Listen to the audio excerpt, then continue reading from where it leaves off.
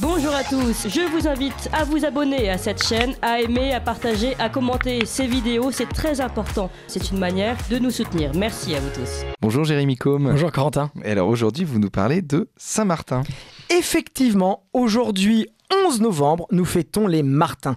J'adore ces petites infos. Regardez, depuis 1900, le prénom Martin a été donné à 64 106 garçons et à 66 filles. Encore Mais oui, moi je pense qu'on prend en considération Martine. Oui, peut-être. Mais 66 Martine, c'est pas beaucoup non oui, plus. c'est ça.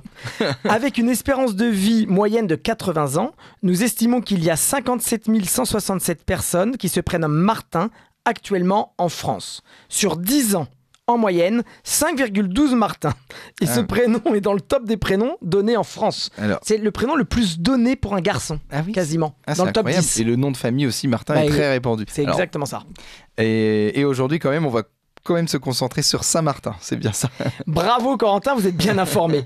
Pour commencer, je voudrais évoquer la légende qui raconte qu'en route vers Rome, Martin aurait vu son âne dévoré par un ours pendant la traversée des Alpes. Bonne ambiance. Mm. Il transforme alors l'ours en bête de somme et lui ordonne de porter ses bagages jusqu'à Rome avant de lui rendre la liberté. Si seulement nous avions les pouvoirs de Saint-Martin pour transformer les méchants en gentils, Corentin. Mais alors, qui est ce Martin euh, dans la Bible? Alors c'est un homme charismatique, prônant le dépouillement extrême, fondateur des premiers monastères d'Occident, évêque, évangélisateur et guérisseur, jusqu'à charismatique. J'ai cru que l'on parlait de moi.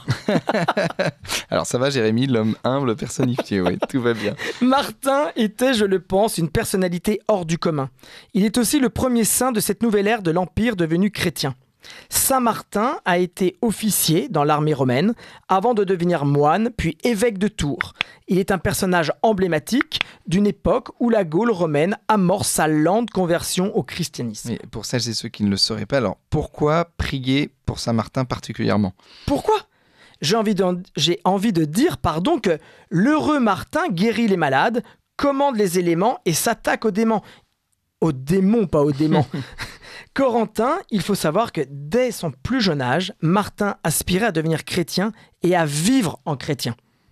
Un soir d'hiver glacial, alors qu'il est un jeune officier, il croise à la porte d'Amiens un mendiant nu, grelottant, et coupe en deux son manteau en lui donnant la moitié. Mais alors, pourquoi seulement la moitié? Une explication possible.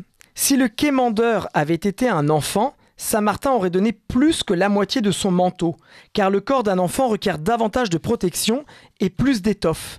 Mais face à un homme, alors au sens juridique des termes, Saint-Martin partagea en part virile, c'est-à-dire égale, une part pour lui, une part Hmm. pour l'autre. Ne me remerciez pas, comment Corentin, c'est un cadeau.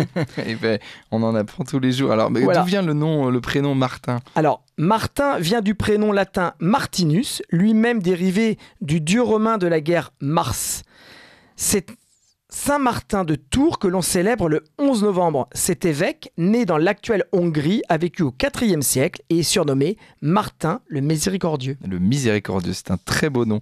Et donc, euh, bonne fête à tous les, tous les Martins. Et donc, la semaine prochaine, euh, quel saint vous nous présentez, Jérémy? Ce sera une sainte, Sainte Aude. Sainte Aude. Eh ben, merci beaucoup, puis à la semaine À prochaine. la semaine prochaine. Vous appréciez cette émission? Alors aidez Radio Courtoisie à en produire d'autres en indépendance totale. Rendez-vous sur soutenir.radiocourtoisie.fr. Merci d'avance.